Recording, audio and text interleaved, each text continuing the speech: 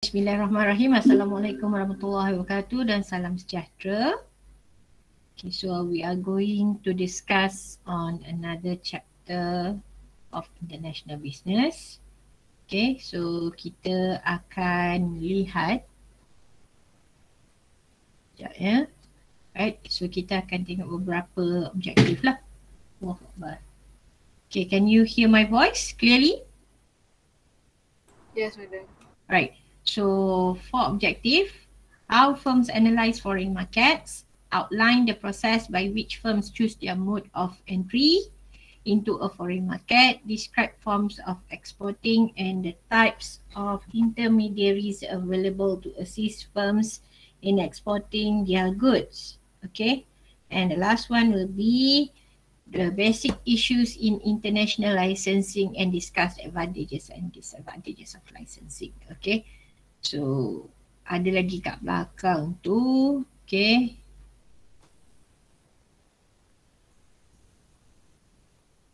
Uh. Okay, ni franchising. Lepas tu contract manufacturing, management contract, turnkey.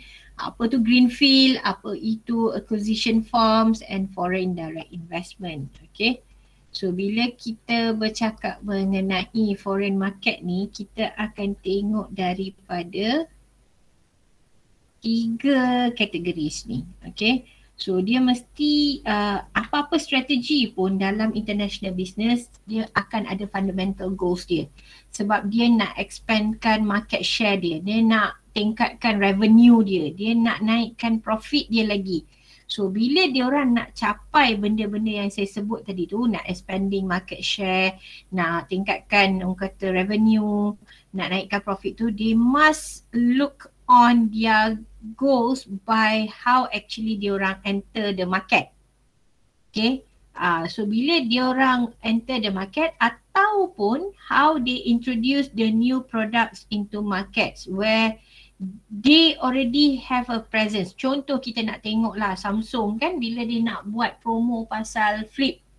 Okay. So cuba tengok macam mana sebab market tu dia orang dah ada tapi macam mana dia orang nak uh, overcome ataupun in a very basic word uh, zaman sekarang ni how they want to silang diorang punya own product juga sebab dia nak fokus pada produk yang baru ni okay kalau tidak kenapa orang tertunggu-tunggu IP uh, 13 ni okay so in order to increase uh, the share the revenue the profits dia kena follow three steps ni okay yang you nampak dekat depan mata you sekarang ni assessment uh, assessment apa? Assess the alternative markets. Macam mana dia nak pergi market yang lain.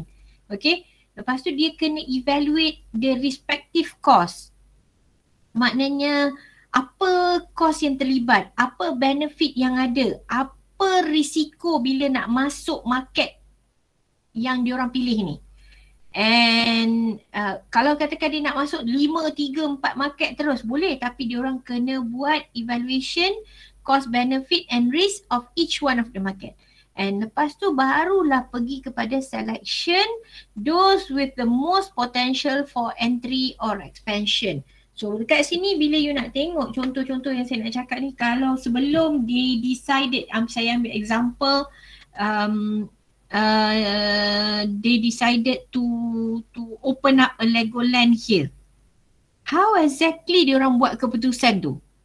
Ah, ataupun sebelum Legoland dia orang nak buat JPO sini, nak buat premium outlet kat sini. Kenapa dia orang buat keputusan di Johor? Kenapa buat Legoland di Johor? Ah, itu semua benda-benda yang dia orang dah tengok foreign market analysis ni, they have been kata following all these three steps barulah dia orang ambil most potential for entry ataupun expansion. Okay? Right? So bila kita nak tengok ni analyze new market opportunities ni dia akan antara questions will be asked ialah how large is the market today? How fast is the market growing? Okay kalau nak tengok how large is the market today siapa yang akan gunakan iPhone ni? Siapa yang akan gunakan Samsung? Ataupun siapa aja yang nak pergi Legoland? Ada ke tidak? How fast is the market growing? So the same question sebenarnya you dah belajar pun marketing betul tak? Okay, so sama je tapi bila melibatkan international business ni, dia ada benda-benda yang you kena tengok which product segments are likely for you to expand. And adakah melibatkan kontrak? Contohnya lah kalau you tengok KFC, ada certain product that when you go overseas, you won't see the same product in overseas. Okay, so which product segments would we, would we like to target? Okay, what are the key drivers of success in this market? Do these key drivers match our capabilities? What future changes will occur in this market? And bila dah tengok semua benda tu, potential tu, baru you tengok levels of competition. Walaupun sebenarnya bila you marketkan dalam uh, domestik pun, you kena tengok benda ni. Tapi bila you nak pergi overseas ni, lagilah you nak kena tengok. Sebab you have to understand that if you think that your provide uh, your product is unique, your service is unique, ramai lagi yang akan kata macam tu. Sebab tu saya suka kalau awak tengok sebab you pun tengah buat ENT kan, pergi tengok Shark Tank. Dekat YouTube tu ada. Okay. So who's gaining market share? Are foreign firms operating successfully in the market? Kalau tengok KFC Asia, KFC Asia eh, maknanya um, siapa owner KFC tu, Johor Corp, um, share dalam KFC Asia adalah 60% ke 70? 60%, more than 50 yang pastinya. So maknanya Johor Corp ada uh, ada hak untuk buat all the market potential of KFC punya produk.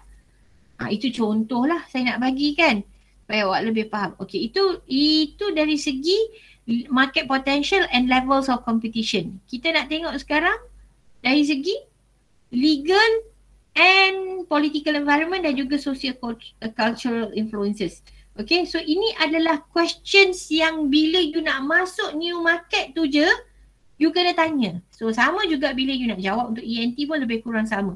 So bila tengok legal and political environment, does the government welcome or discourage foreign investment? Okay, sebab tu mm, uh, you kena tengok polisi government bila kita nak buat Legoland kat sini, adakah boleh ke tidak? Okay, adakah kita boleh boleh orang kata um, bina Legoland uh, uh, Legoland dengan hotel dia sekali. How exactly dia nak buat? Macam mana dia nak sesuaikan? Macam mana government nak nak ambil orang kata nak libatkan trade barriers dalam ni? Okay. So does the government favor local firms? Okay macam mana dia nak libatkan local firms dalam pembinaan Legoland ni? Sebab tu bila Legoland tu ada di Nusa Jaya, di Johor ni, secara tak langsungnya kalau you tengok tempat tu growing. Okay, sebab tu kita pun sebenarnya UITM ni pun filosofi awal UITM, okay. Memang kita buat dekat kawasan-kawasan yang perlukan pembangunan dan orang kata uh, basically kat kawasan Felda lah kalau you tengok kan asalnya. Okay, sekarang dia baru beza sikit. Okay, So are there strong ties between existing political and business elites? Ha, ni sebab apa? Sebab political dengan business ni selalunya mana-mana negara yang membangun ni memang ada masalah sikit. Is corruption pervasive? Kita pun tengah ongoing cerita yang tak pasti bila endingnya. How reliable is the rule of law? How strong is IP protection? Ha, ni buat produk sikit je kena tiru. Buat produk sikit je kena tiru. Are you guys still there? Hmm. Yes, ada memang. Alright, okay. Kok saya shot sendiri ni kan sebab tak, saya tak buka kamera tak nampak pun. So I'm so sorry. So is our product kalau orang tengok daripada socio-cultural influences pula. Okay, kita nak tengok produk kita ni compatible tak dengan local culture. I think baru-baru ni kalau you perasan, okay, Libres, Libres eh, how they put pronounce the word Libres. Libres ada buat uh, design packaging yang baru yang mendatangkan orang kata um, trigger to all over people, okay. So, okay, you boleh tengok je what kind of issues is that, okay. So, is our product compatible with the local culture? That will answer whether the questions, I'm not saying I'm okay with that situation and I'm not Okay. So kita nak tengok sebagai contoh produk compatible with the local culture. Okay. Ataupun kita tak tengok pun ada iklan arak.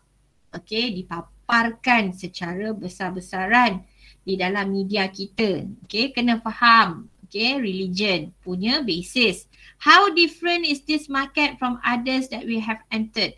what motivates workers in the culture? Do consumers seek out uh, seek out foreign brands? Okay, kita dah ada local barang kita tapi still nak juga ambil barang. Contohlah ada handbag yang um, kata buatan uh, Malaysian lagi better than buatan luar negara. However, people still looking for for foreign brands. How educated is the population? Is the population yang all urban or rural? Semua benda ni you akan tengok sebelum nak masuk new market. Okay? Right? So bila, sekejap ya. So bila kita nak assess alternative foreign markets ni, kita akan tengok assessment ni kita akan tengok based on these four criteria lah. Okay? uh, ataupun kita panggil factors. Okay? Right. Bila kita uh, discuss on market potential. So kita kena tengok data. Sebab tu bila you nak buat business ni okay you kena tengok data about population capital GDP dia ini kalau kata international business lah public infrastructure did public infra- infrastructure ni permit firms to screen various foreign markets and the decisions sebenarnya akan draw uh, all the attention bila kita dah boleh position our product sendiri. Okay. So another factor ialah level of competition.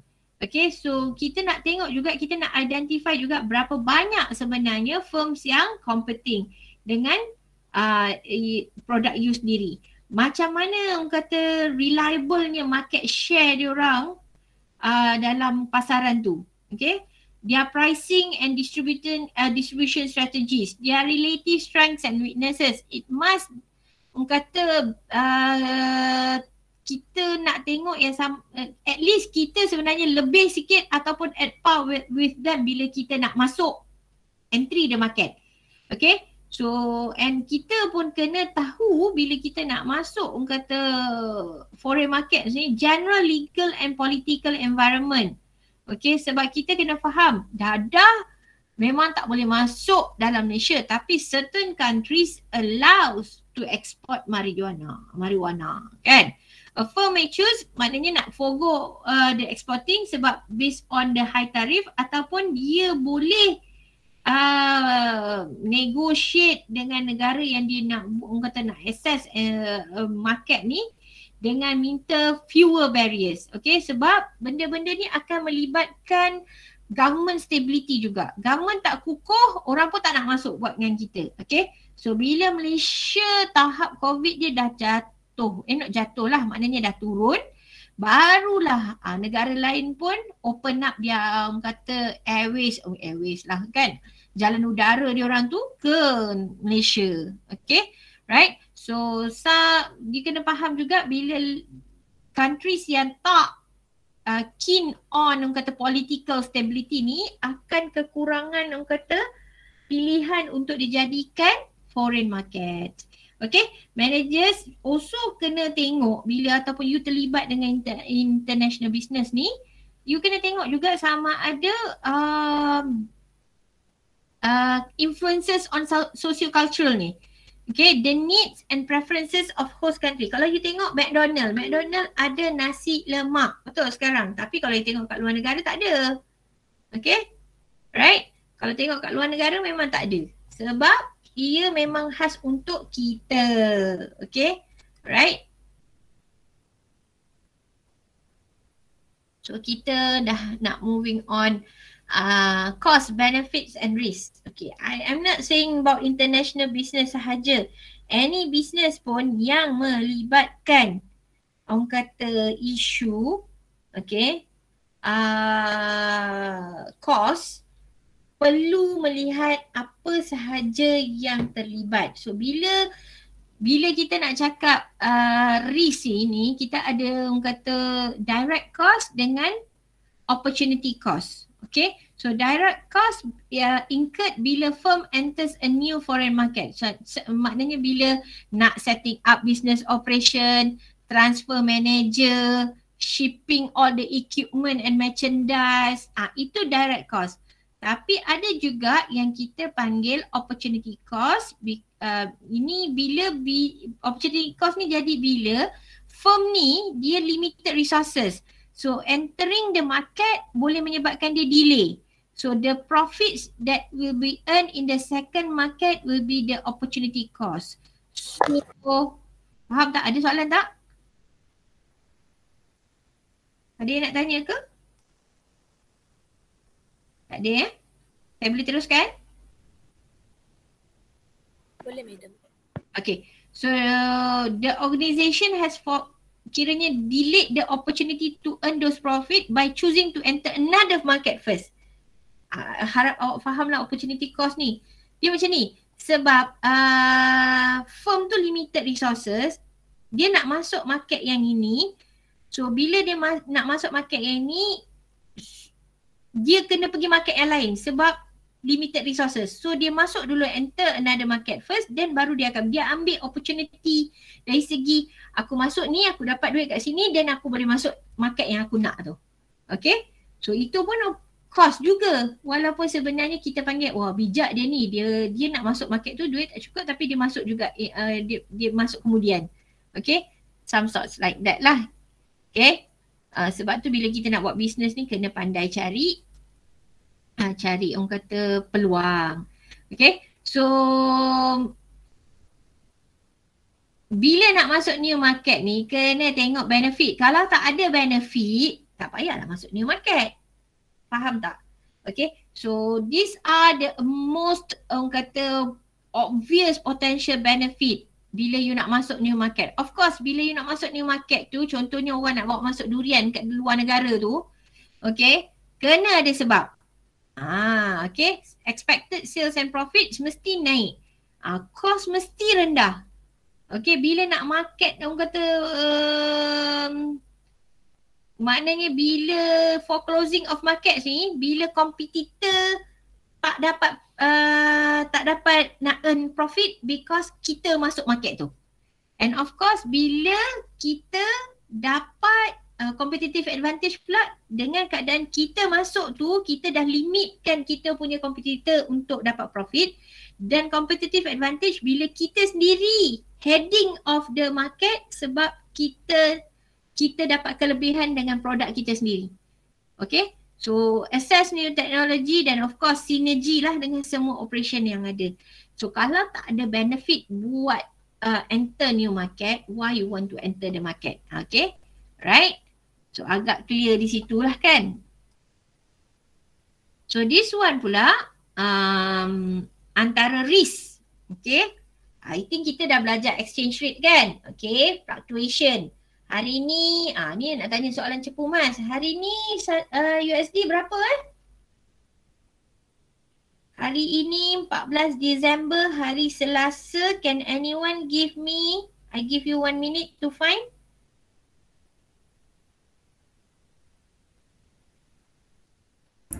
RM4.23 Boleh tengok uh, uh, seminggu punya transaction tak? Paling tinggi bila? Tengok analitik dia.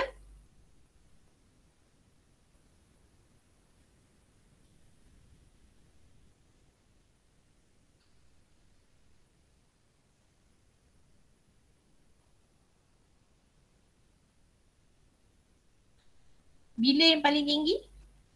Untuk seminggu ya madam? Uh-uh. Rasanya hari ni. Hari ni. Sebelum ni berapa?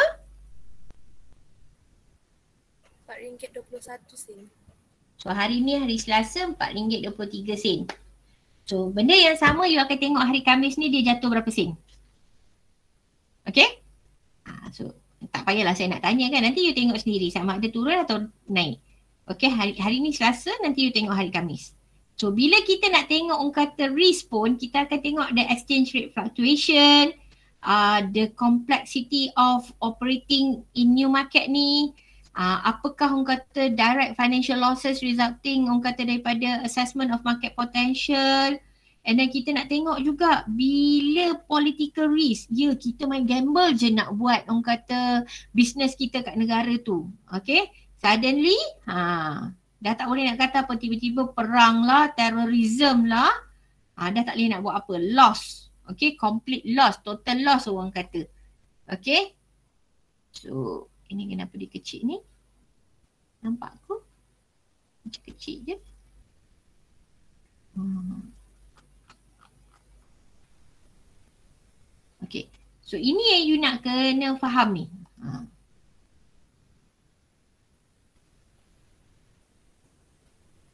Okay. So which mode yang you nak masuk ni? Ha, bila kita dah ada decision factors, you boleh tengok dekat sini decision factors you. Okay. Ha, kita ada beberapa decision factors kita bila kita nak masuk. Ada ownership advantages, ada location advantages, ada internal, internalization advantages and of course ada other factors, need for control, resource availability, uh, dengan global strategy. So bila kita nak tengok ni uh, kita kena tengok one of the theory yang said that okay uh, Dunning eclectic theory. Uh, dia provide useful insights bila kita nak ambil factors yang nak choose. So kita akan tengok either home country production exporting host contract host country production in firm owned factories FDI and joint ventures or host country production performed by others licensing franchising and contract manufacturing. So dia bila kita kata dunning factors ni ni yang you tengok kat tepi ni ni. Okay? Decision factors ni. Okay right mode of entry ni based on decision factors kita okay ha, dia dah tulis balik dah tu okay So kita pula nak pilih yang mana?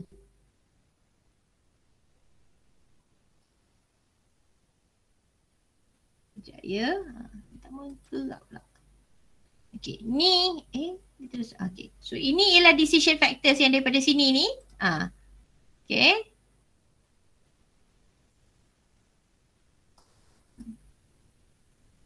Ha, ni tak mahu gerak tak apalah. Okay, so ini decision factors. So kita nak tengok one by one. Okay, so ownership advantage, ownership advantages, resources owned by a firm that give a competitive advantages over its industry rivals. Ownership advantages, orang kata dia boleh ada power bargaining. They can influence the outcome of entry mode negotiation. So dia ada resources kena faham. So kalau location advantages dia akan affect the desirability of host contract host country production relative to home country production. So kalau katakan home country production to be more desirable than host country production. So the firm will choose to enter the host country market via exporting. Okay. Right?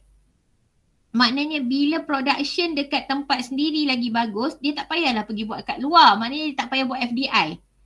Okay. So dia buat dan dia baru pergi export.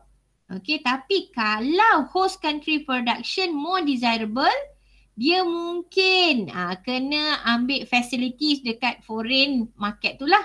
And license the use of its technology and brand names to existing. Kalau you tengok dekat pasir gudang ni, banyak location advantages punya entry uh, decision factors. Okay. Contohnya you dapat tengok Titan lah, you dapat tengok Penek lah, you dapat tengok Hitachi so called dah tukar nama sekarang lah.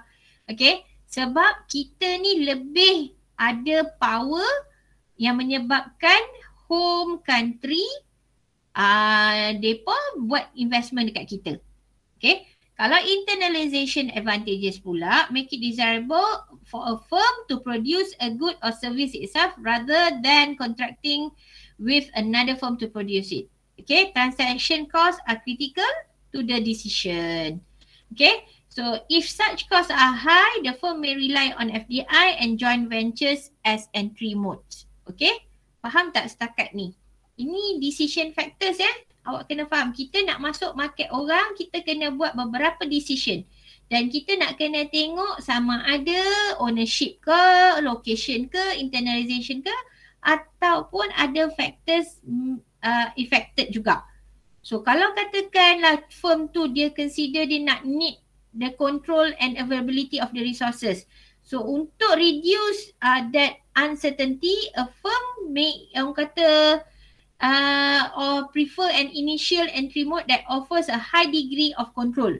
Sebab dia nak control on the resources, so dia kena pergi pada ownership advantages lah. However, if the capital and executive talent are in short supply, the firm may not be able to afford the large capital investment. So therefore, dia kena cari uh, entry mode yang very economic. Okay? So yang maknanya dia baik dia bagi license daripada dia pening kepala fikir macam-macam. Okay? Sekejap ya. Right. So uh, itu untuk choosing an entry mode. Sekejap.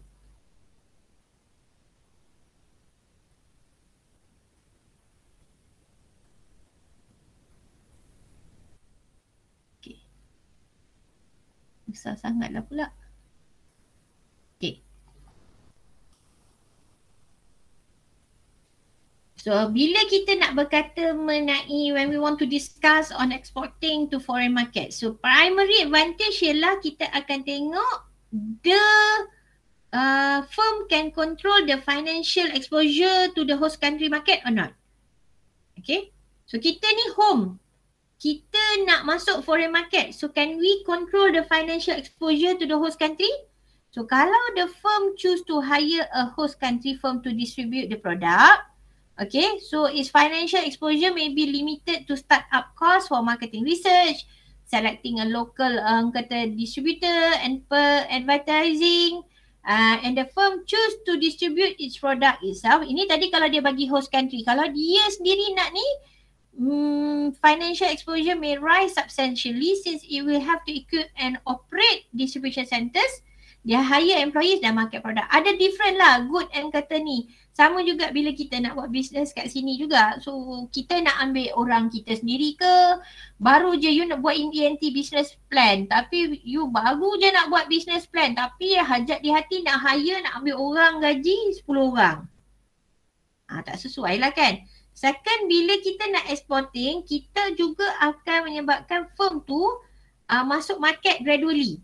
Ah, uh, so bila kita buat macam tu kita allow to access local conditions and kita akan fine tune dengan produk dia, produk kita sendiri untuk meet the host country punya uh, consumer punya keperluan. Uh, the needs of host country punya consumer. Okay. So if the export our product to well receive the foreign consumers, firm may use this experience as a basis. Kalau you tengok duck sendiri pun, bila duck dia produce dia punya orang kata dia dia FDI dia kilang dia dari China. Okay. So bila produk dia nak sampai ke all over Malaysia, uh, all over the world ni, produk dia senang je semua orang nak pakai. Sama juga dengan Bokita. Okay. So those orang kata kind of orang kata bila you nak choose the market tu sebenarnya.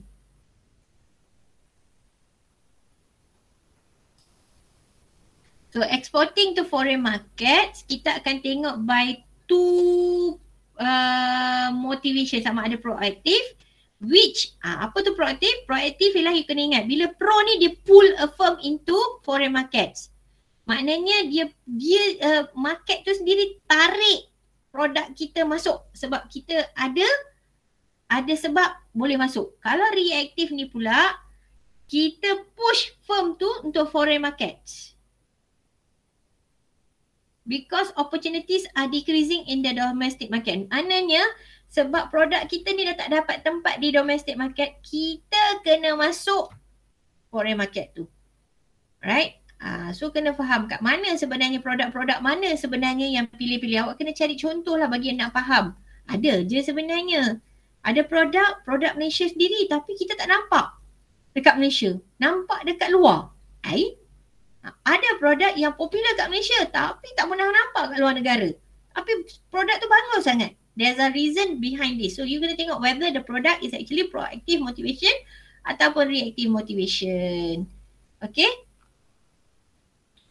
Ha, ini dia lah. Ha, ini soalan, kalau dulu soalan ada keluar ni.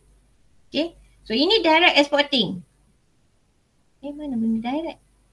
Ni direct.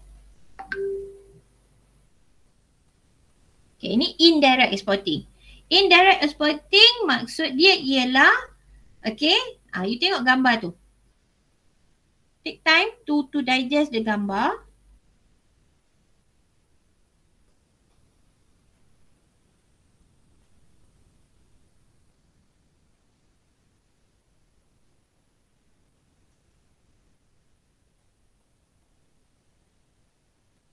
Right. So kalau you tengok itu, a firm may sell its product okay, to a domestic customer. Ni indirect ya.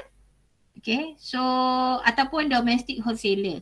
A foreign firms, local subsidiary or a foreign firm, okay, all of them which will export the product in either its original form or modified form. Okay, so in most cases indirecting exporting contohlah company A ni Okay, dia dapat ikan masin, dia jual je. Okay, pada wholesaler. So, company B ni dia akan repackaging, dia akan rebranding. So, dia akan hantar kepada company C. Okay, so nama dah jadi lain. Okay, kalau duck dah jadi chicken dah contohnya. Okay, right? Ha, itu contoh indirect exporting. Okay. Kalau direct exporting pula, apa bezanya? Terus dia, company A ni terus dia hantar kepada company C. Dia tak melibatkan siapa-siapa pun. Sells directly to the foreign customer. Initially, direct um, kata exporting ni menyebabkan uh, order tu jadi uh, tak keruan lah sebab kita terus direct kan. Kita tak libatkan. So, uh, the firm exactly will learn how about uh, operating internationally lah. Kalau you tengok indirect tadi tu dia melibatkan lagi satu company. Okay? So, dia, maksudnya ya. Yeah. Uh, yang direct ni kan, contoh dekat company A tu dia dark dekat country tu, company C tu still dark lah. Yes.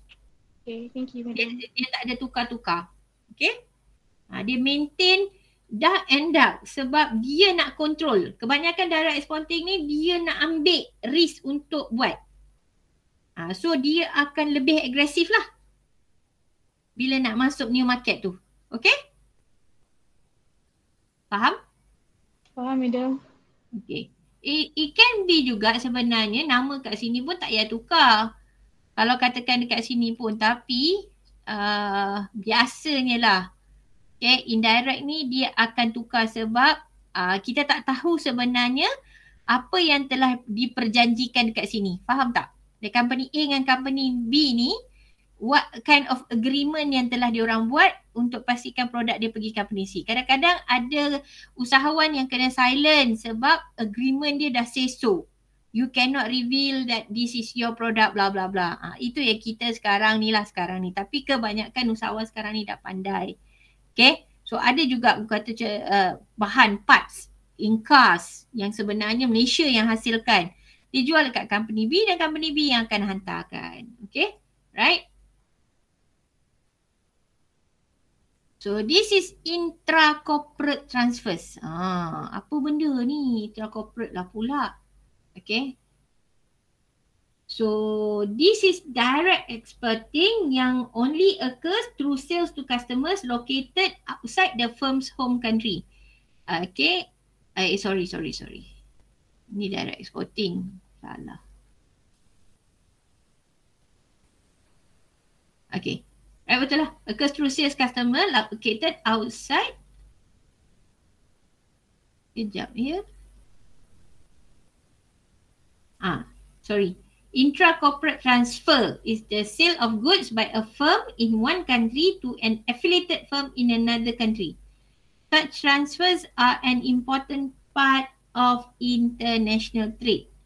Hmm. Ha, so apa maksud affiliated company ni? Adakah dia kena mengena ataupun tak kena mengena? Awak tengok ni company A dia ada affiliated company dan dia tetap jadi company A kat sini.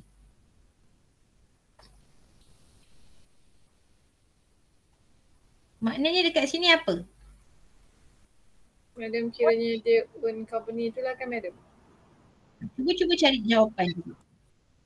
Cawangan ni madam. Ha. Cuba cuba cuba. Cuba, cuba lagi, cuba lagi. Siapa yang ada hantar chat tu tolong bagi tahu saya eh.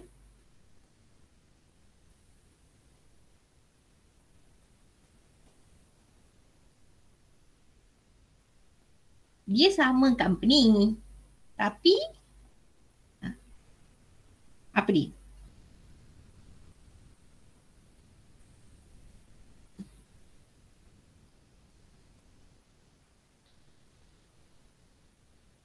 Franchise? Ya kau franchise. Kita tak sampai franchise lagi. Dia own 50% of the ownership mana? Nak bagi faham senang je. Kalau ada satu company tapi dia ada bahagian dalam dua-dua company. So maksudnya company A dengan company A ni dua company berbeza tapi masih ada entity yang ke atas yang kawal dua company tu. Macam tu? Hampir lah. Hampir. Hampir. So dia sebenarnya company-nya sama saja. Okay. So different tempat aja. Okay. Different tempat aja. Dia different tempat dia. So ini mungkin uh, affiliated company yang diwujudkan supaya bila pergi negara ni senang sikit. So adalah sebab urusannya.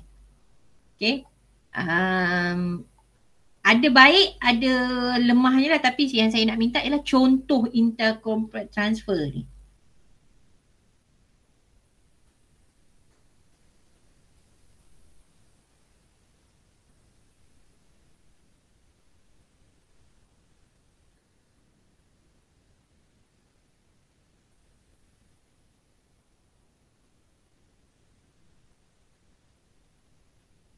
Dia melibatkan employee yang company-nya sama. Itu je.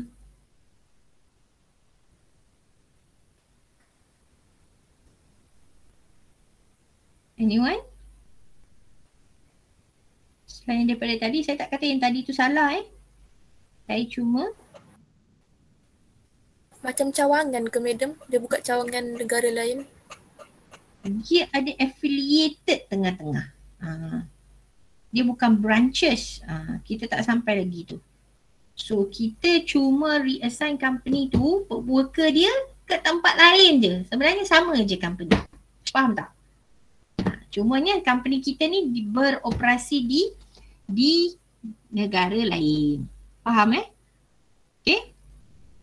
Ini masih lagi forms of exporting. Okay. Maknanya dekat sini dia ada advantages lah. Dia control 100% of untung dia. Faham tak? Contohnya saya, saya buat produk. Okay. Ha, saya pun ada affiliated company dekat orang kata dekat, Singapore. So apa saya buat bila saya nak pergi kat Singapore, saya pindah je. Saya transfer je uh, staff saya kat sini pergi kat company kat, dekat Singapore ni. Okay. Ha, itu cerita dia. Okay.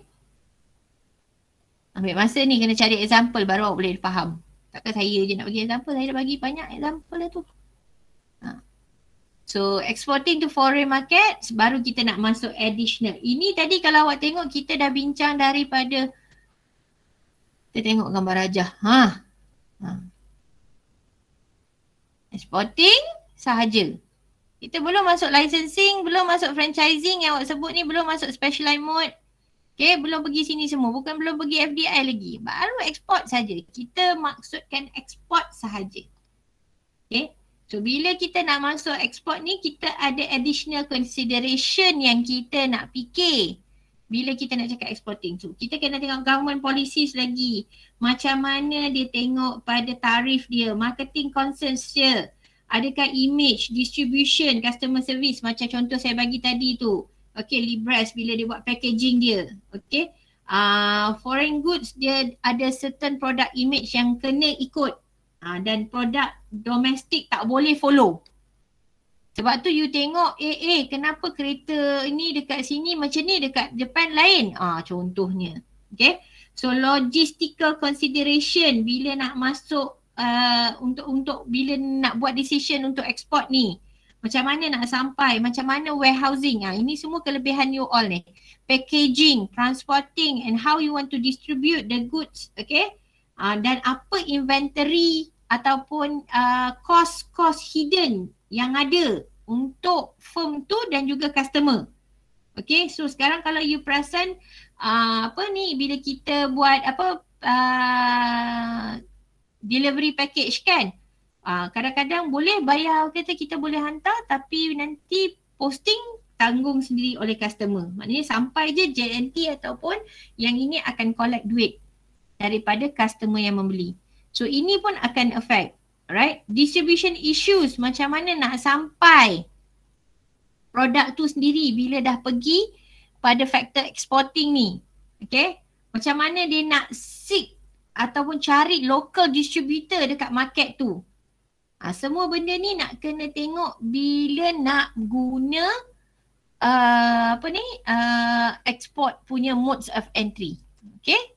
Ini dia.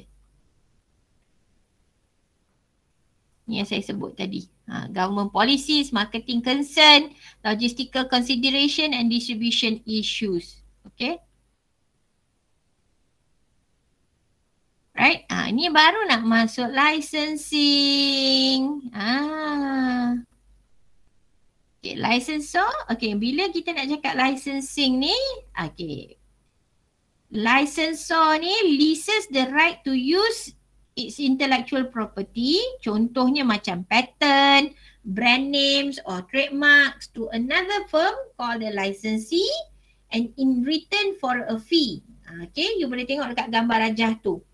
Okay. Dia kan daripada hijau ke biru tu. Dia list the right to use its IP. Dia guna, dia bayar royalty balik. So licensing ni orang kata orang selalu gunalah sebab nak senang dapat duit. Since a firm has already incurred the cost bila dia develop the IP tu, So biasanya revenue akan dapat bila kita dapat fees tu.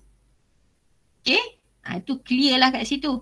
So apa basic issues yang nak kena ialah kena ada boundaries of the agreement, establish compensation rates. Contohnya kita tengok lah McDonald, kita ada MACD, dah kena saman pun orang yang guna MACD, MCDEE, e. logo pun hampir sama. Ada isu eh, tak boleh. Macam nak buat KFC, K, K-A-Y-E-F-C-E-E. Tak boleh sebab sebutan pun sama. Dia ada antara orang kata right privileges and constraints conveyed, conveyed in the agreement ni pun ada bila licensing. Specify the duration of the agreement. You tak boleh pun katakan kalau you ambil uh, trademark tu, you ambil trademark eh. Contohnya you ambil trademark Disney kan. You tak boleh tukar-tukar pun dia punya logo. You kena ambil sedia ada. Okay.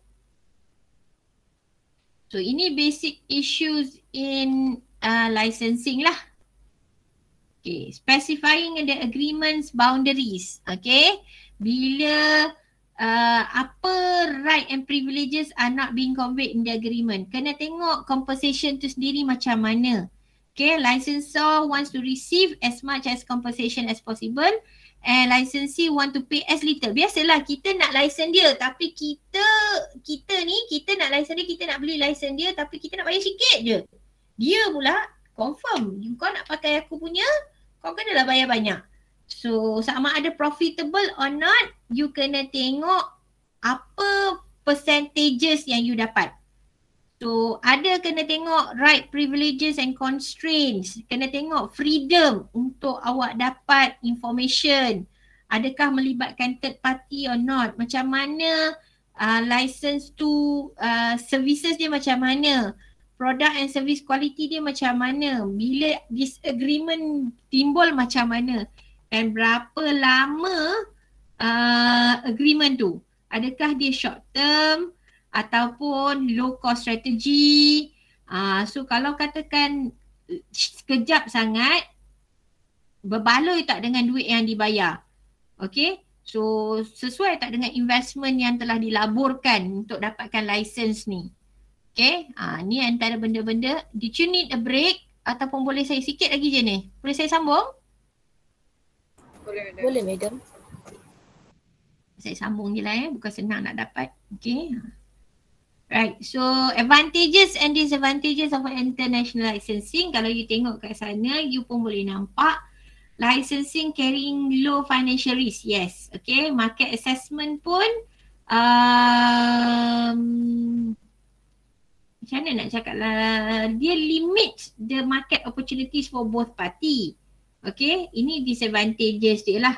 Okay, tapi kalau dari segi uh, nak tahu kata mengenai sales potential tu licensing lah yang kata cara paling mudah. Kata beneficial for the the the uh, for the home country. Okay uh, and licenses benefit through the opportunity to make and sell products services and services that has been successful in other international market so benda ni licensing ni boleh jadi sebab dah ada cerita story before okay So disadvantages macam saya cakap tadi dia limited market opportunities and then ada issues dari segi litigation. Okay. Uh, macam mana nak uh, nak compete dengan future competitor. Macam mana nak pastikan secrets yang ada tu uh, terjaga atau tidak. Okay. Uh, and then bila expired macam mana nak pastikan yang sebelum ni lisensi kita ni yang pakai license kita ni macam mana dia expand tanpa melibatkan kita punya produk tu. Ha, kau dah ambil license kita tiba-tiba kau dah expired kau tak nak sambung and then suddenly you are, you, you are doing similar to our product. Ha, it's not fair lah kan. Okay so this is uh, this is another way of franchising pula.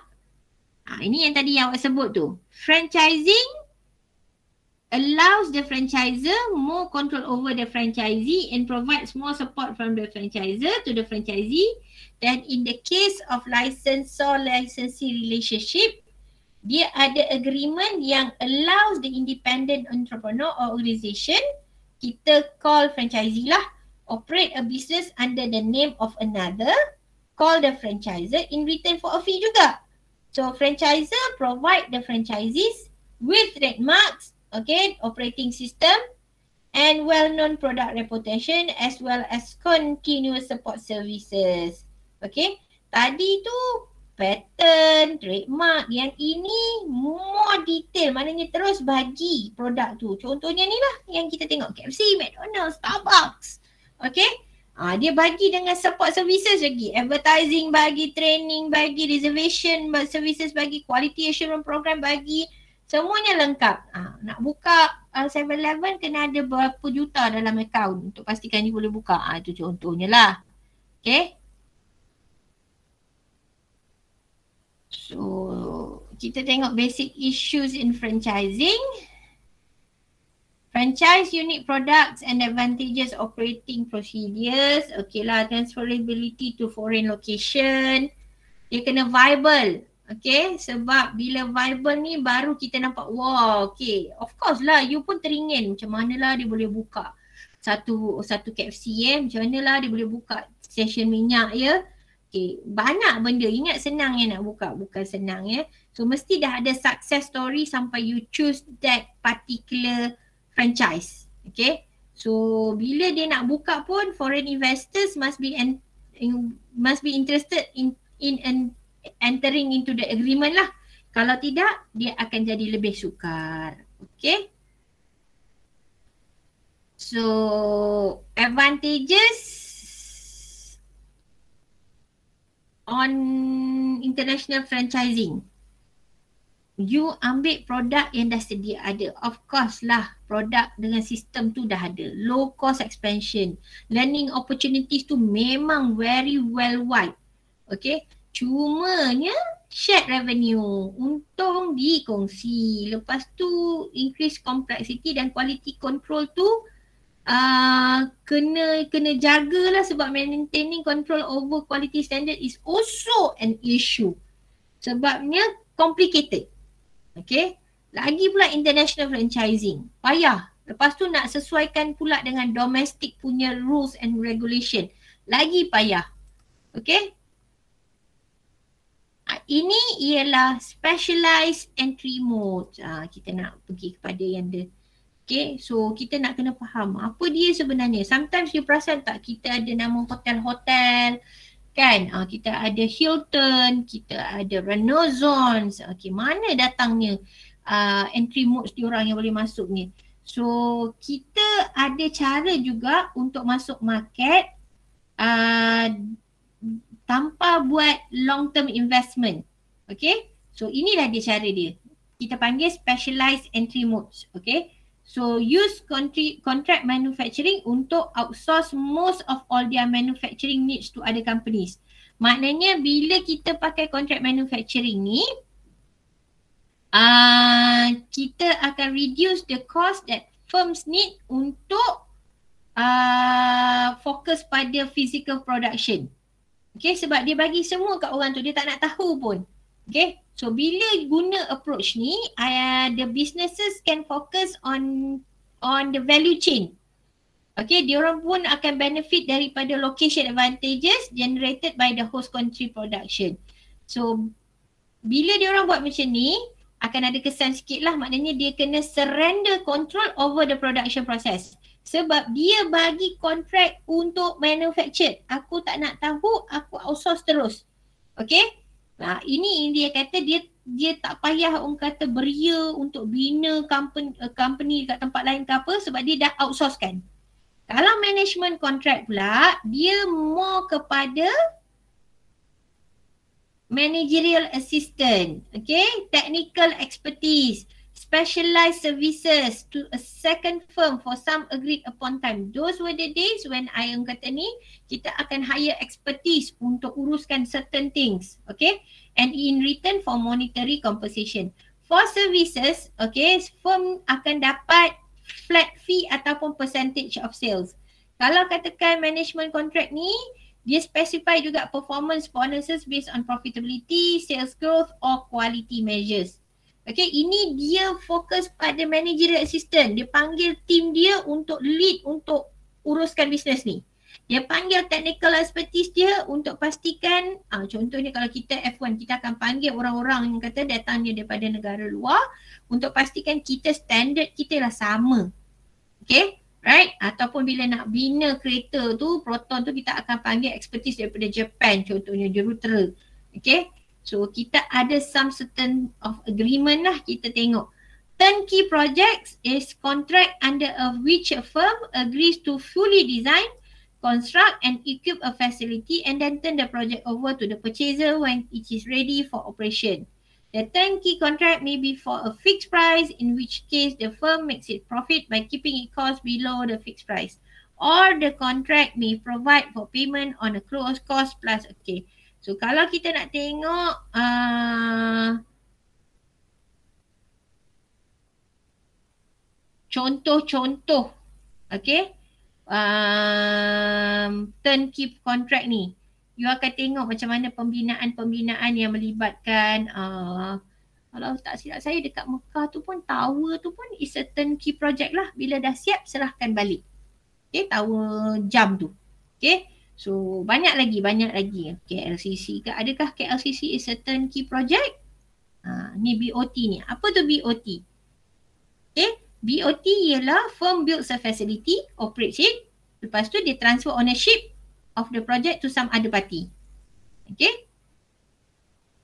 Bila dia buat approach yang macam ni, contractor dia profit from the operation and ownership of the project for some period of time However, dia also akan bear all the financial risk associated with owning and operating during this period.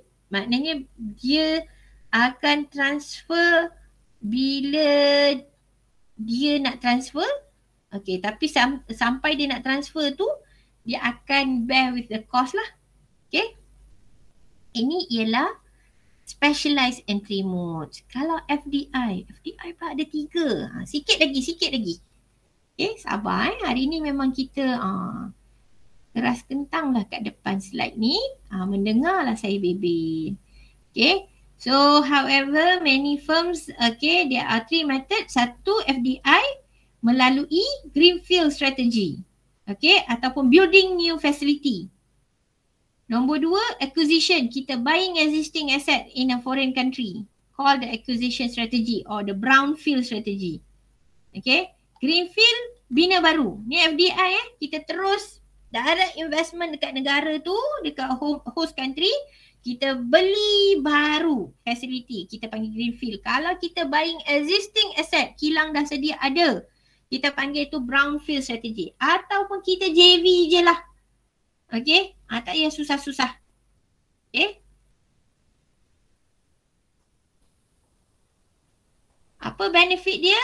Of course lah bila FDI ni kita increase control kita, profit potential local factories kita uh, dekat host country tu uh, akan orang kata ada connection lah sebab more reliable supply, faster service, better communication dengan suppliers. Okay. Tapi FDI ni pun exposes the firm contohnya bila kilang-kilang Malaysia ni banyak dekat China. Ha, bila kena pandemik memang terus stop ekonomi kita sekejap. Okay. Uh, selain daripada ekonomi, political, yes. Okay, operating complexity. Okay, uh, dia masalahnya bila kita tak dapat nak ada control, insurance pun risk, political risk insurance. Okay, tiba-tiba tak boleh ada itu, tak boleh ada ni. Uh, dan bila firm pilih FDI ni, dia kena faham yang dia kena terima bahawa standard challenges of managing, operating and financing ni memang tahap level dia tinggi sikit. Bukan sikit, banyak. Okay? Ha, ni greenfield lah bila bila beli baru.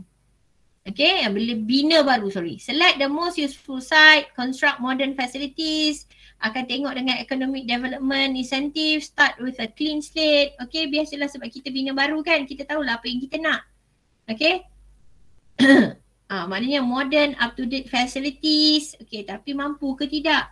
Okay and firm also can acclimate itself for the new business culture. Kalau dia punya disadvantages ah memang takes time and patience lah. Okay ah, so ini normal. Okay maybe stigmatized as a foreign firm. Okay sampai bila-bila kita tahu yang Legoland bukan kita punya. Okay kalau katakan kita tengok acquisition strategy. Okay, kita control over the firm's resources sebab kita ambil existing firm kan. Right, brownfield strategy ni. Okay, ha, dia generates immediate revenue sebab kita tak payah fikir daripada awal nak kena ni. ni. Okay, so disadvantages ialah dia dah ada liability, dia dah ada hutang dah, dah ada cerita problem dia sedia ada. Okay, and joint ventures, join own separate firms ataupun promote joint venture maknanya two or more firms agree to work together and create a jointly owned separate firm to promote their mutual interest. The number of such arrangement adalah based on kata rapid changes in technology, uh, telecommunication and government policies outstrip the ability to international firms untuk lebih orang kata dapat opportunity untuk diorang ber berdagang lah in a way. Okay. So that's it kot. Ah, dah sampai pun habisnya. Dah dah tak ada pun. Ha, okay. So masih lagi kamera saya tak boleh detect. Alright. So kita tengok last. So is there any questions? There any question?